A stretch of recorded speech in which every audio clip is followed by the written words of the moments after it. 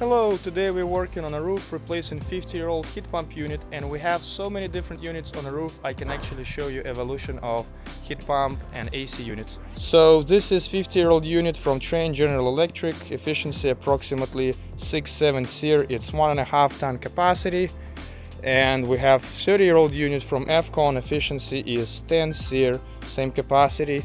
We have 25 year old unit from Lennox, efficiency 10 SEER we have 20 year old unit from American Standard Efficiency 11 SEER.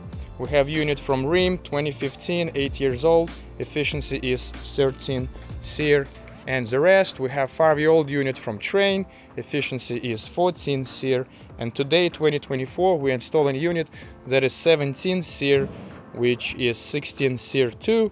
And you can see it's same capacity, but you can see how 2024 unit is twice the size of 50 year old unit and it's using half of the electricity but they're able to achieve this by using bigger fan, bigger coil and a little bit smaller compressor inside